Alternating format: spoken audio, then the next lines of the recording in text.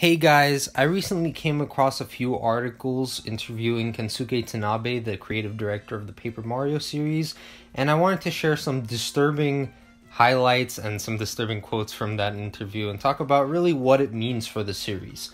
Now, since the release of Paper Mario the Origami King, people have complained about the continued direction of the series, and you know, that makes a lot of sense. There's still no real companions, which were a huge part of the one on N64 and the Thousand Year Door.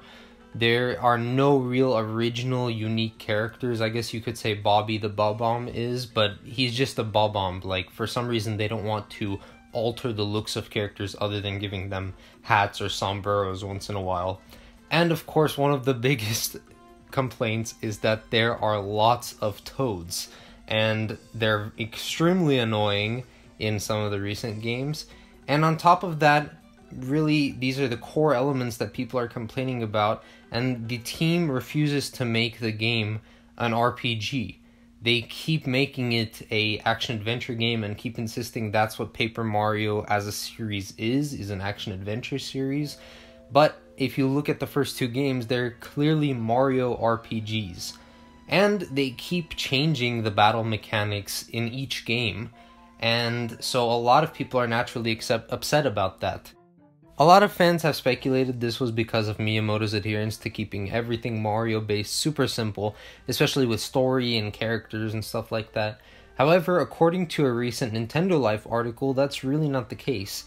The current producer of the Paper Mario series, Kensuke Tanabe, has this to say about the series, and I quote, Ever since Paper Mario Color Splash, we have almost complete control over the creative direction of the game.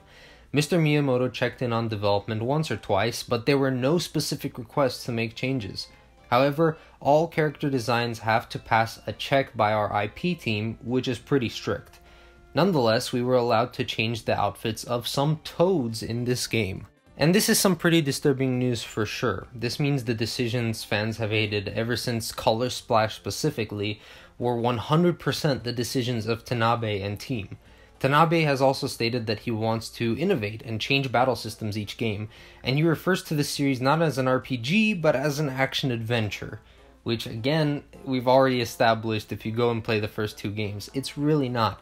This is especially annoying because of the fact that since it's the Paper Mario team making these decisions, combat really may never be the same. You know, they seem to want to innovate and change things all the time. And so, one of the big things that people loved about the original two Paper Mario games was something that will never come back. And we probably won't get unique characters like Toads with not just different clothes, but different personalities, older, younger, things like that.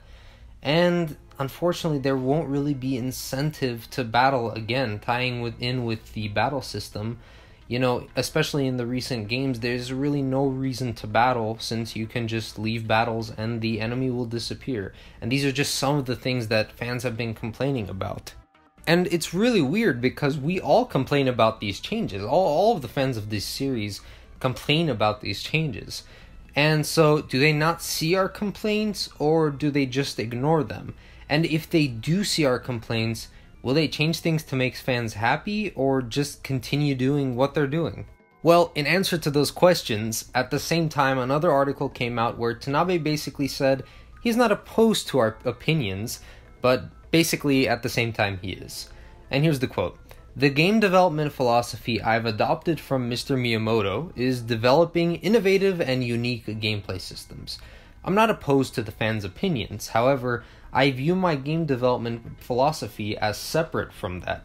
If we use the same gameplay system wanted by the fans again and again, we wouldn't be able to surprise them or deliver new gameplay experiences. We always try our best to exceed expectations in surprising ways. At the same time, there's no guarantee that we'll always succeed in doing that. So it's a real challenge. So I definitely know what Tanabe is doing here, and many in both the video game, movie, entertainment industry in general have been doing it for a few years. He's trying to subvert our expectations. His philosophy basically entails that many fans ask for things, but he's likely to ignore them as we don't know what's good for the game and what we ourselves will enjoy. That sucks because ignoring fans shows them your lack of care for their your opinions. If you claim to not be opposed to fan opinions, then completely trash their opinions and the suggestions they have for your next game or how to fix the current mechanics in your game, you're just plain lying to the people who are lining up to buy your game. And you know, a lot of copies of Paper Mario uh, Origami King have been sold, so really you're just spitting in those people's faces. And I think this stems from a big ego and from the popularity of the franchise thus far. It seems that Tanabe thinks that, you know, whatever he releases, even if tra- fans don't like it, and no matter how much it trashes their opinions, people are gonna buy it. And that's really exactly what happened with this latest game. I don't want this to be a toxic video. I don't want this to be something that people come to to trash uh, Miyamoto and Tanabe and Nintendo and the whole Paper Mario team. I don't want to hate on any of them. It's tough to feel artistically fulfilled while listening to fans and their demands. I'd get it. However, stating that using the same systems makes the game repetitive makes no sense, especially considering Nintendo themselves have been doing this with the Mario franchise.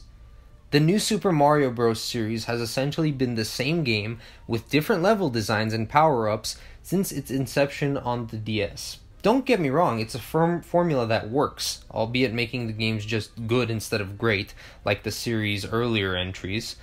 But you're saying that you've adopted this design philosophy from Miyamoto, and that's just false.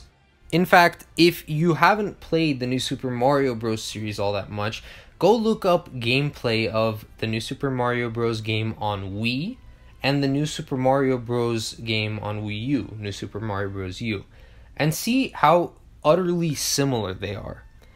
Other than a slight upscale from, I believe, 480p to maybe 1080p on the Switch, there's really not too much that's different about those games other than a power up and different art styles. Slightly different art styles at that. So, what's the point of all of this? Well, it just goes to show that hundreds of videos about a game and how you can improve the next entry don't always work. Sometimes developers are just too stubborn, and I'm sure Tanabe will say some ridiculous thing about why the series has become what it now is in the coming weeks, but for now, at least we have other games to fall back on. A prime example is Bug Fables. I haven't played it myself, but according to most people who have, it's a faithful successor to the first two Paper Mario games, with all the mechanics, combat, and wit intact. And most importantly, if you don't like how a game looks, or if reviews are saying it's not what you wanted, I know this has been said a million times, but don't buy it. You can be sure Nintendo will look at the success of Origami King and repeat the same mistakes all over again for the next Paper Mario game, whenever that comes out. So next time, wait for gameplay, wait for reviews. Don't support a game you won't like, or else history is just going to repeat itself until Nintendo stops making games. Or, in other words, until the year 2020. Get it? Because cause Nintendo isn't. Okay, you got it. Yeah. Thank you all so much for watching. Let me know what you think. Leave a like and subscribe, and check out my latest video where I took a look at the recent Nintendo Direct Partner Showcase. Spoilers, I didn't like it. Thanks for watching again, and I'll see you in the next one.